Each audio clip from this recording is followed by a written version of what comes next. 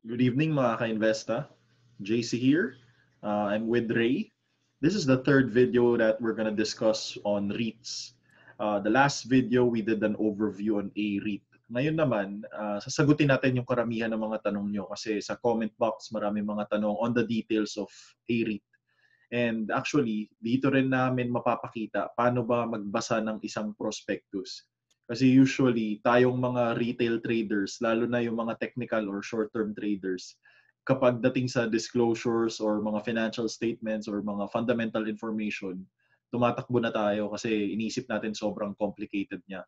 Uh, sa video na to, kasama ko si Ray, ang ating research analyst sa Instagrams. Iga-guide namin kayo kung paano ba ma mapadali yung pagbasa ng prospectus. And in this case, we're gonna analyze the prospectus of a REIT. So what I'm sharing right now is yung prospectus ni a REIT.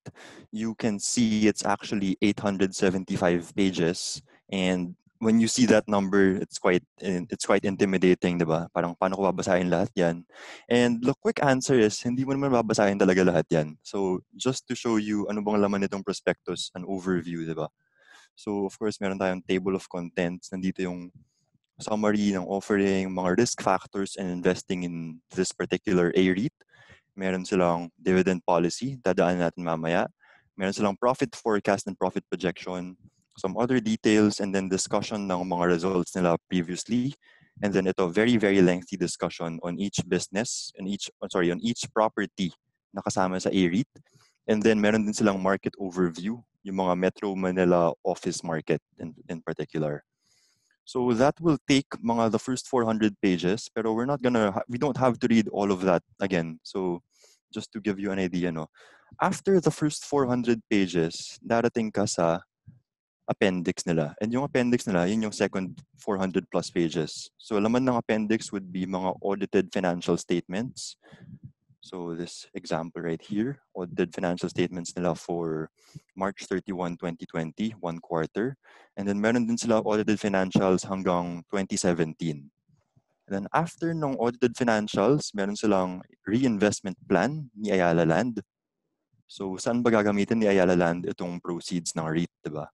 So yan, nilista niya na dito lahat ng lahat ng properties up until 2023 kung saan niya gagamitin yung proceeds. And then after that, meron yung valuation report ni Asian Appraisal. I think na-mention na rin natin to last video. And sa valuation report ito, makikita mo lahat ng assumptions, lahat ng discussions on the property, paano ba nila vinalue, paano sila dumating sa 30 billion pesos. And then finally, after nitong valuation report, meron tayong portion here which is yung, wait, ang haba pala nito. ito, So meron tayong independent market research report prepared by Colliers on Metro Manila office sector. So there are some important points here which we will also go through later. So for now, let's start with itong discussion natin sa prospectus. First thing I'd want to highlight here is ito. So ano bang investment criteria ni A-REIT? Ito. Lahat ng potential new properties na ipapasok nila na part ng A-REIT should be located in a prime location in either Metro Manila or key provinces like Cebu, for example. It has to be primarily commercial properties, meaning offices, and then these properties should have stable occupancy, tenancy, and stable income. Okay? So ito yung properties na minention rin natin in the previous video. May office building, may mixed-use building, for mostly for BPOs, and then may other office building. So after these three properties, part ng proceeds will be used to acquire itong ito, Teleperformance Cebu. So it's an office tower in Cebu. Mostly, ayan, BPO offices, PEZA accredited, PEZA accredited as well. And then after that, ito part pa rin ng summary.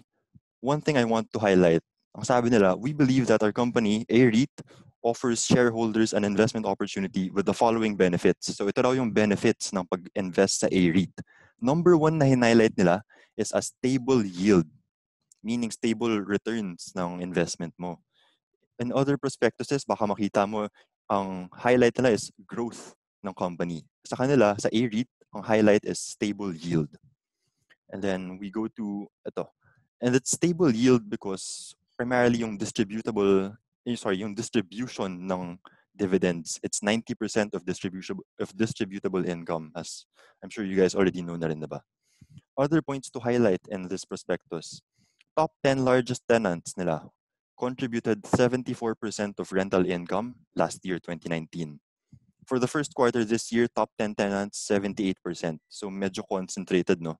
So some points we can see this as a risk, pero just like us traders now we have risk management protocols and procedures, diba? Sila as corporates and companies, they also they also have ways to manage these risks, and we'll talk about that later on. Then, and then next highlight we have ito, Asian Appraisal valued the properties as of June 2020 at 30 billion pesos. Mostly yung value na to nanggagaling from Solaris 1 and Ayala North Exchange, 12 billion and 16 billion respectively. So yung McKinley Exchange, 2 billion pesos lang, and it's because it's quite a small building versus the other two.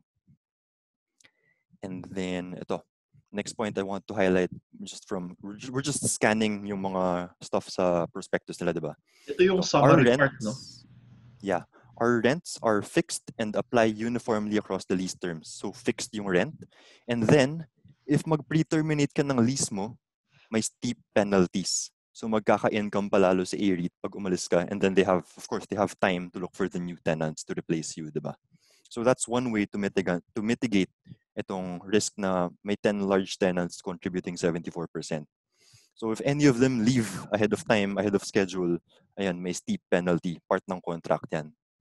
Add ko lang siguro, kasi maraming natatakot eh dahil 'di ba COVID, tas sa Makati, office rin namin Makati, marami nagsasarado.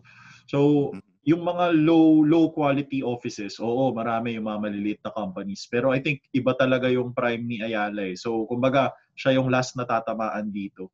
Pero nakita naman natin 98% yung occupancy nung pinaka yung third building niya, yung dalawa 100%. And even in the next one, two years, mataas pa rin yung occupancy rate. So walang effect halos. Tapos ito pa yung yung pag may umalis, mababayaran rin si Ali. So very protected siya. Yep. Yan, yun nga. As you mentioned, last three years, average occupancy nila 98.3%. So that's a good part na low risk and if you talk if you think about it that way. Pero there's there's also another aspect to this na there's minimal upside left. Kasi you can't get more tenants. You're almost at 100%. Diba? So mm. yung growth, saan manggagaling, it's primarily from yung increase in rental rates or if they acquire, if they infuse more properties dito sa REIT na to. Diba? And then, ito, another highlight, average inflation daw since 2014 is at 2.7%. Meanwhile, yung leases nila, yung lease contracts nila, generally subject to annual escalation of 3 to 10%. So every year, itong mga fixed rates nila nag increase by 3 to 10%, which is higher than inflation. Right? Okay. So, And then- sasabi rin natin na yung parang, kung assuming parati siyang fully occupied, then rental escalation na lang yung way niya to increase the rates, no? Kung hindi siya magdagdag ng building. So, conservatively, 3 to 10% yung growth niya kada taon, assuming full occupancy and walang building na madadagdag. So, at least tatak natin sa utak yun para alam natin yung expectation dito. And then just to mention din, hindi lang sa pagdagdag ng building, possible din na nag ini-improve nila yung spaces nila. And that's another way to increase yung rates, no? Para you're not just going with the market. And then, ayan, so that's yung summary ng offering ng, ng, ng business nila. We move to yung next part. Ito, this is another 40 pages, risk factors. This is standard naman across all prospectus, even mga bond offerings. Now, they list down all of the risks na any investor might um, or should consider when they invest in a REIT, in, in whatever is being offered. So, of course, marami dito mga standard lang. We are exposed to risks inherent in the Philippines, stuff like that. So, if you want, if you have time, you can read through the headings, yung mga naka-bold. Pero for this particular video, we just want to highlight a few risks. So, in particular, ito, the fund manager has no experience managing a REIT. And that's fair to say naman kasi no company in the Philippines has experience managing REITs kasi wala pang ang REITs in the Philippines, diba? And then next naman, we have ito, the ongoing COVID-19 pandemic. Yep. So of course, may risk pa rin to sa business nila. But it's good. This is one risk na I think is worth reading in full. But some points to highlight. Ito, as of date, this REIT, as of date of this REIT plan, so July of 2020, COVID-19 has had a limited impact on a REIT. And that's because retail spaces is only 6% of total leasable area. So mostly yung tenants talaga nila are BPOs. That's majority of their ayan, tenants, 'di ba? So kaya gets natin na wala masyadong impact yung COVID-19 kasi again, nakakon nasa contract naman tong mga to and it's fixed rate, hindi siya dependent sa income ng or sa sales ng tenant, 'di ba? And then what else can we highlight from here? So ito, they, we mentioned earlier, may appraisal, may appraised value yung properties nila from Asian Appraisal, 30 billion pesos. Of course, that might be different from yung actual realizable value, subject to change. If you ask another appraisal appraiser company to value these properties, it might be a bit different. Pero they listed naman yung actual assumptions na ginamit ni Asian Appraisal to value these. So ito, they assumed growth rates for rent at 5%, 4%, some at 2% for the next 10 years. Diba? And then if you want more details on yung on yung assumptions na ginamit ni Asian Appraisal, you can go to the appendix, nandun yung full report nila. And it's very, very detailed. You can actually recreate their valuation just by reading through their full report. But again, that's quite a long report then. So something to consider lang. Another risk this is the very first REIT in the Philippines. So we don't have a benchmark yet. We don't have a pure benchmark of how these perform, specifically in the Philippines. That's why in the previous video, pinakita natin, diba, ano bang performance ng REITs in neighboring countries instead? But uh, something to highlight then is, because this is the first REIT, they're paving the way for more REITs to follow. That's something I believe in. Uh, in the future, we could see the likes of Mega World, SM. They will most likely also offer REITs. And then finally, let's answer this uh, question, or let's try to answer this question, diba? Dividends and dividend policy. Marami nagtatanong, and it's a very good question. Um, how often will they pay out dividends? Magbibigay sila quarterly or once a year lang? So, by law, ang ang requirement ng REIT law is to distribute at least 90% of net income plus some adjustments, diba? Pero itong sinabi nila, such distribution must not be later than the last working day of the fifth month following the close of the fiscal year. Ang haba ng sinabi. Pero basically, what this means is, dapat ma-distribute nila in full yung 90% latest end of May every year. Kasi December 31 yung fiscal year nila. Okay? And then, just some additional points However, itong audited financial statements, it's not a requirement. So hindi kailangan na full year may results ka na before you can distribute quarterly or semi semi-annual dividends. So ang sinasabi nito is pwede silang mag-distribute quarterly, semi-annual, but uh, it's pero they haven't specified yet kung ano exactly yung plan nila. And that's one thing, yes, I also haven't seen online yet. So siguro appeal na lang sa mga ka-invest na natin, sa mga viewers, no?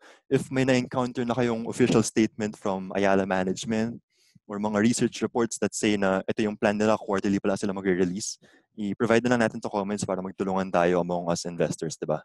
Yeah, so so wala pang direct na sagot diyan whether annual ba, semi-annual or quarterly. So usually baka ilabas na lang nila 'yan pag lumapit na yung offer or natapos na yung offering. Let's see. Yeah. And then something to note lang then, regionally outside the Philippines, what we're seeing is companies, REITs rather, they, they offer, sorry, they pay out dividends at least quarterly, sometimes even more frequent, mga special dividends. So, yun lang, they just have to be mindful lang na they don't exceed yung maximum dividends na they can pay out for a year. And with a business like this, it's very stable. Yes, you can, you should have um, a good idea on projections for the next few months, for the next year ng business mo. So yan, diba? It's possible na quarterly siya, it's possible na semi-annual, it's also possible na annual. So again, appeal natin if you guys are able to find uh, an article, something that says officially ito yung plan, uh, paki-comment na lang, paki-share sa other investors, diba? And then next significant part nitong prospectus, ito, profit forecast and profit projection nila for the next two years up until 2021. So si AREIT, nag-prepare sila ng projections and then they had it examined pa by SGV, yung auditor. So ito yung projections nila in summary, no? So meron silang for the last five months of this year, and then meron din sila for 2021. So for 2021, para full year yung basis natin, they expect 1.7 billion pesos of rental income. And then they projected yung costs, yung net income, and then wala masyadong tax na babayaran. That's part of the REIT law. And once you have yung net income mo, you can make the yung mga adjustments tapos aabot ka sa dividends na ibabayad mo for the year. So for 2020, ang expected or ang projected dividends na ibabayad nila is at 1.3 billion pesos. For 2021, it's at 1.6 billion pesos. And then you get yung dividends per share, 1.31 and 1.58 for 2020 and 2021 respectively, no? Ilang percent growth rate nun? So that is, kita ba to? Itong pinapakita ko, 1.38 over 1.31. Hindi, hindi. Hindi kita yung calculation. Ah, okay. Sige. So that's around 20% growth for the next year. So that's significant then, di ba? Okay. And then, nag-compute na rin sila. Given these offer prices, may ranges, may ranges silang binigay. So at 30.05, ito yung maximum offer price nila. Yung dividend yield is 4.36%. How do you compute that? Basically, it's 1.31 divided by 30.05 equals 4.36%. So that's for 2020. Right now, we know na yung offer price is 27, di ba? Ang binigay nila dito is 27.05 pero sobrang lapit na lang, sobrang lapit na rin naman yun, di ba? So at 27 pesos per share, ang dividend yield na we're looking at is 4.8% for 2020 and 5.8% for 2021. Okay? So, yan. Alam na natin yung indicative range nila. And then, ito, assumptions net. They also laid out yung assumptions, paano sila nag-arrive at 1.7 billion rental income for 2021, ano yung mga costs, stuff like that. So, ayun, they laid out the assumptions. If kung gusto nyo daanan, pwede rin naman, di ba? Pero just some stuff we want to highlight. So, most of the revenues, the rental income, will come from Solaris One and Ayala North Exchange. And logical naman kasi these are the two tallest buildings that they have. And then something to note then, itong Teleperformance Cebu, they factored it into their projections na. And it's going to contribute 5%, 8% of revenues. So medyo maliit lang din tong building na to na, na ina-acquire, i-acquire pala nila. Okay? And then they also computed yung net asset value. So ito yung value ng REIT or ng company minus yung mga liabilities nila. Right now, they have zero long-term debt, pero they have they still have mga few liabilities, of course. So net asset value per share, based on yung accounting books nila, is at 33.3 pesos. So offer price 27. So right now, they're offering it at discount to yung value ng REIT or ng company. And then some other stuff, ito nasa business section na tayo. Breakdown ng leasable area nila kita natin BPOs contribute 66%.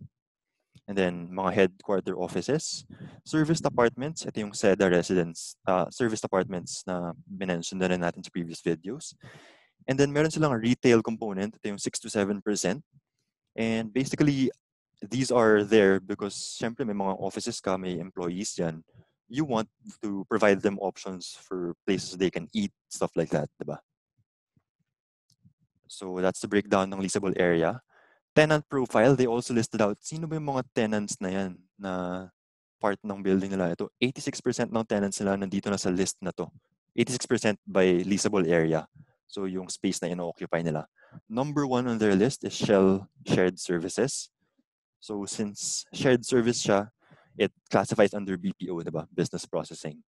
They also have itong service department, which is yung SEDA. And then more of ito, mga BPOs and one banking financial institution. So just some more breakdowns of their office, sino bang, of their leasable area. And then ito, this is a very good point and a very interesting point.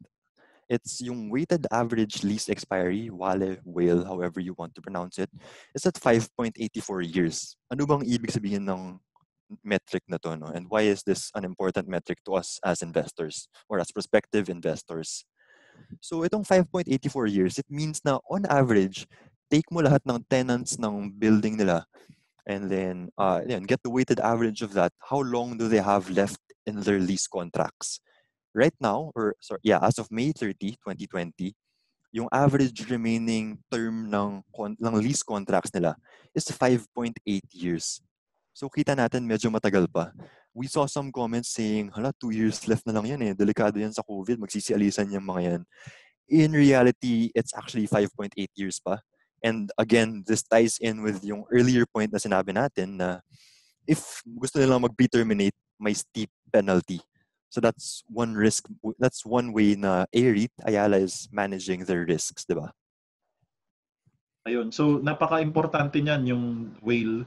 5.84 years basically lahat ng tenants pag in-average mo more than 5 years pa yung contract na natitira sa kanila. So kahit nakita natin na na 70 plus percent ay nasa 10 kumpanya lang, yung kontrata ng mga to ay 5 years pa. 5 years pa yung running. And even if may fears tayo na COVID, work from home, yung bagong normal, etc. or BPOs magkaroon ng bago sa business model, uh, naka-contract naman yan na limang taon pa. So not unless they pre-terminate or mabankrupt sila, dun lang mag-iiba. Pero again, um, either scenario, protected pa rin si AREIT sa, sa ganito. So it would take a big, big uh, event para lang ma-disrupt yung ano niya, yung yung contracts niya. So medyo secured na siya at this point. Yep. And even right now, this is COVID of course is a big event and nagkaka, nakaka-disrupt siya pero five years, diba? That's a lot of time to recover for these businesses and yeah. a lot of time to look for new tenants if you need, diba? Yep. And then just some more details. They have on a per building basis, sino yung tenants niyan. So ito yung sa Solaris 1. Ito naman yung sa Ayala Ex- North Exchange. So kung gusto nyong daanan isa-isa, if you really want to do your due diligence, you can with this document kasi sobrang haba nga niya. And then meron din silang nilayout itong mga strengths, weaknesses, opportunities, and threats or SWOT I guess this is a very common form of analysis, itong SWOT analysis. Even mga students, they do this all the time in their classes. So some weaknesses they, they pointed out. This one in particular is for Solaris 1. Ito, visibility. It's not directly in Aya, along Ayala Avenue. This one is nasa De La Rosa. And then accessibility, ayun nga, it's not it's not directly connected to Ayala Avenue. And then hindi din daw siya directly connected dun sa yung walkway along, along Ayala. Itong walkway I think is yung the one that connects Greenbelt all the way to Ayala North Exchange, di ba? And then, ito, they mentioned some other weaknesses ng building mismo and then some of their rates. Itong, ito yung mga other fees na sinacharge nila outside the lease contract. So, parking Bakit fee, air conditioning nila? charges. Three, tama ba? Yeah. 300 yung kusa nila? 390? Yep. So, they mentioned nga it's above market. So if this is a consideration for prospective tenants, it might be a turn off, diba? Grabe, mahal. So that's why they mentioned it as a weakness. Hmm. And then ito, threats naman. And yeah, I guess one of the things na everyone is thinking right now is itong work from home, how will this impact the industry in the long run, diba? So a good point they mentioned here is nga, 66% na BPOs. That means, uh, and BPOs kasi they really require the, the nature of their job, it requires internet connection. It's one of those jobs na, mahir, na mas mahirap talaga if you work from home mo. Especially Philippines, alam mo naman internet connection natin dito, there's much room for improvement pa. So right now, they feel na this is another way na their risk is managed kasi karamihan BPOs, di ba? So there are some na successful nakaka-work from home pero karamihan they're still trying to push na mag-work sa office.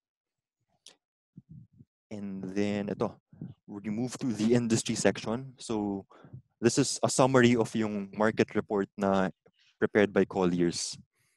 So ito, rental rates. Kamusta na ba yung, yung rental rates natin here in the Philippines, here in Manila versus neighboring um, metro cities and yeah, diba?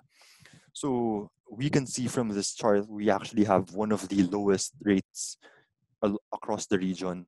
So, syempre, let's not compare ourselves to Singapore, sobrang mahal nun. Pero even like Ho Chi Minh in Vietnam, Hanoi in Vietnam, mas mataas pa pala yung rental rates nila versus Manila.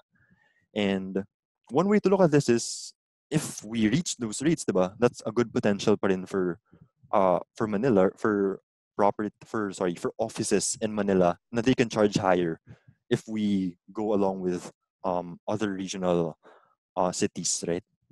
But for that to happen, kailangan reform talaga eh, 'di ba? Na parang ease of doing business, tapos ganda ng economic structure.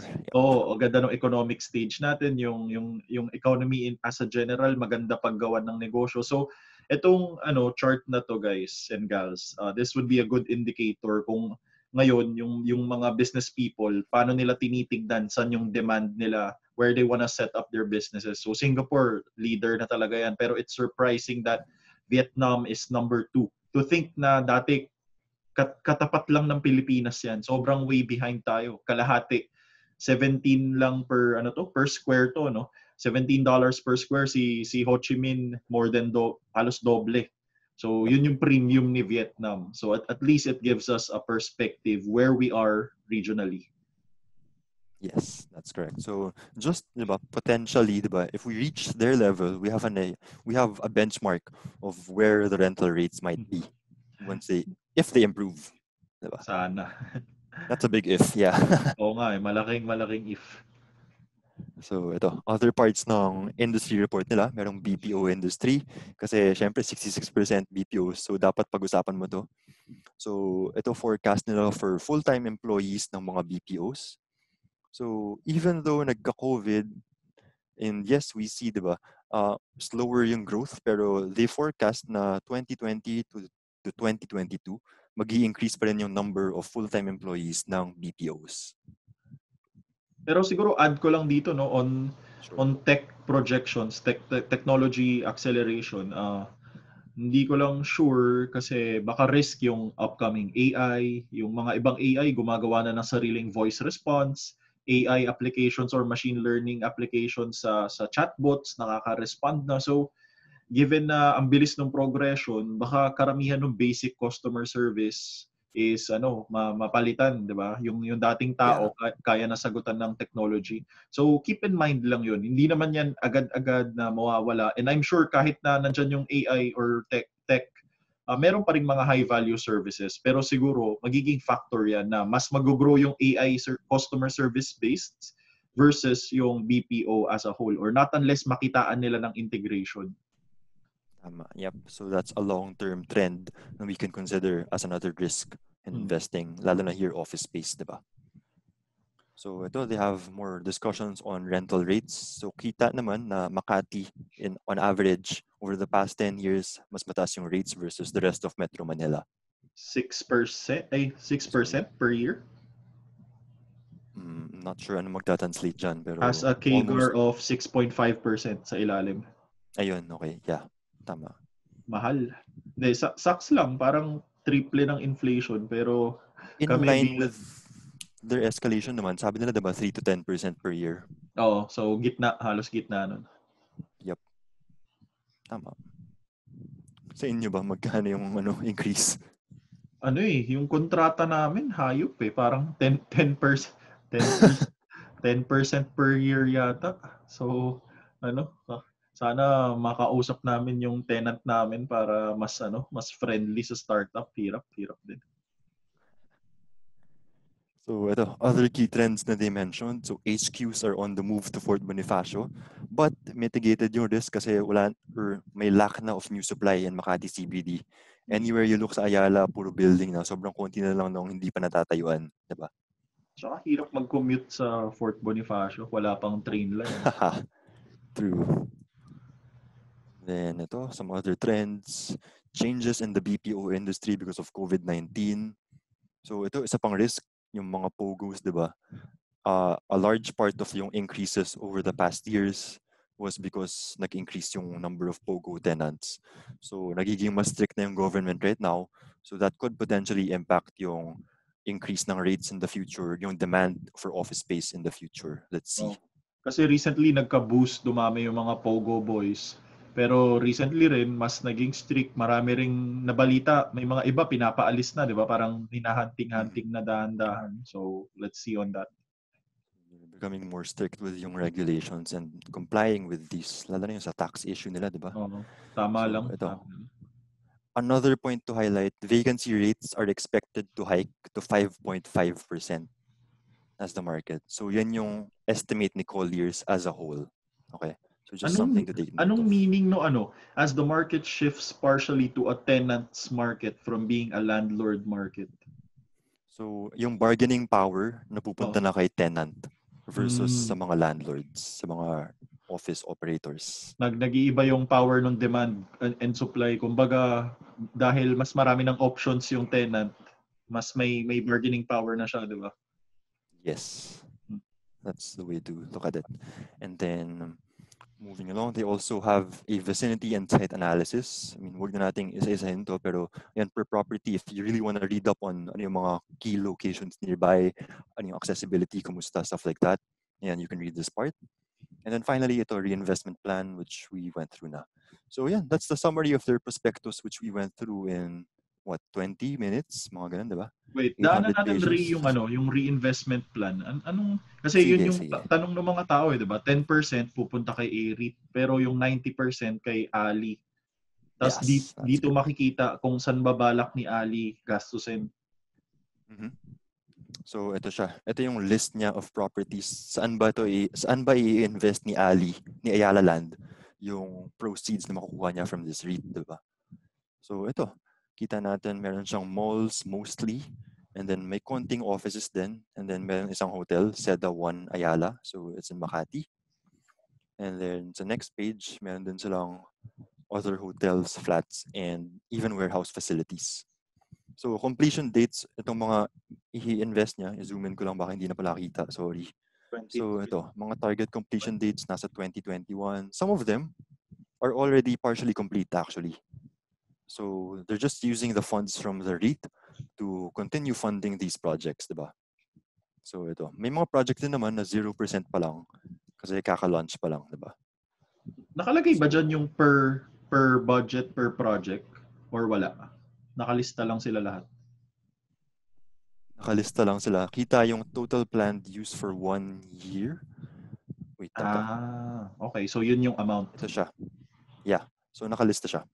So sakto, accounted for yung buong 90% na makuha nila. Tama ba? It should be, yes. I think this is one requirement ng PSE and SEC Okay. So given Ayun. in a first treat to eh.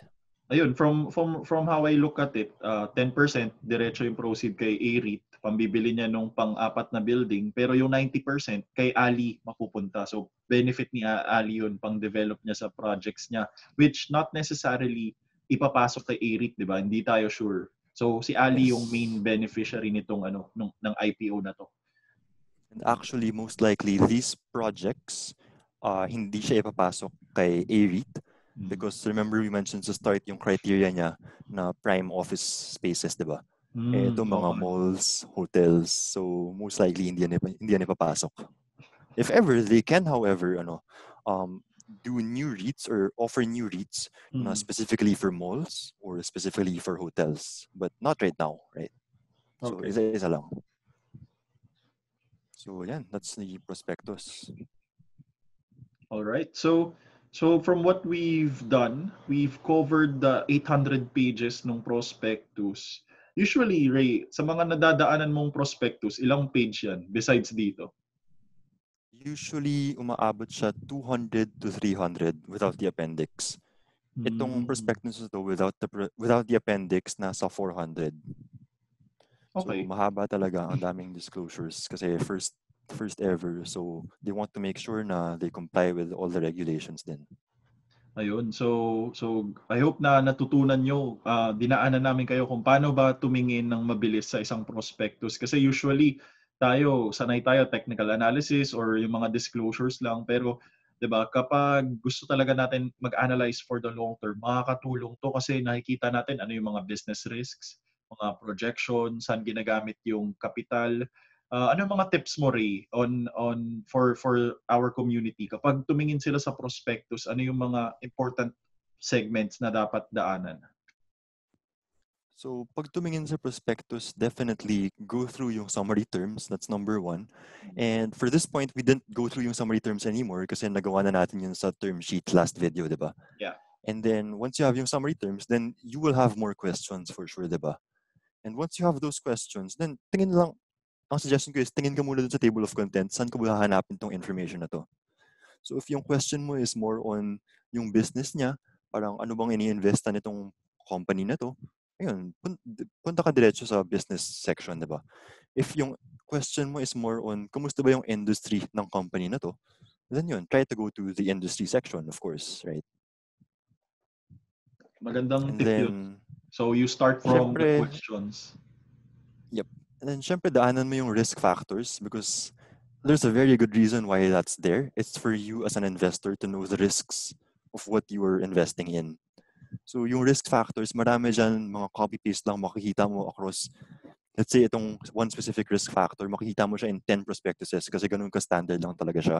So, yung mga ganun, kita mo naman sa heading na parang, ah, hindi to company specific. In general, risk lang talaga yan in investing. Skip mo na yun. Go to yung risks na specific to the business para save time ka. Alright. So, anong next natin, Ray? So, siguro ito yung inaantay na ng ano, ng, ng karamihan. So, I hope natutunan nyo paano tumingin ng prospectus. Ngayon naman, ito na yung tanong. So, ano ba yung recommendation namin? Ano yung verdict